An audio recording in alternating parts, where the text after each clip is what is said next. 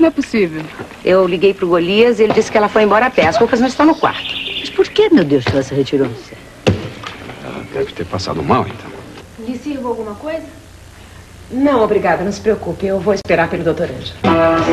Mania de Rir. De segunda a sábado, sempre às nove e meia. O que é nosso é feito com amor para você.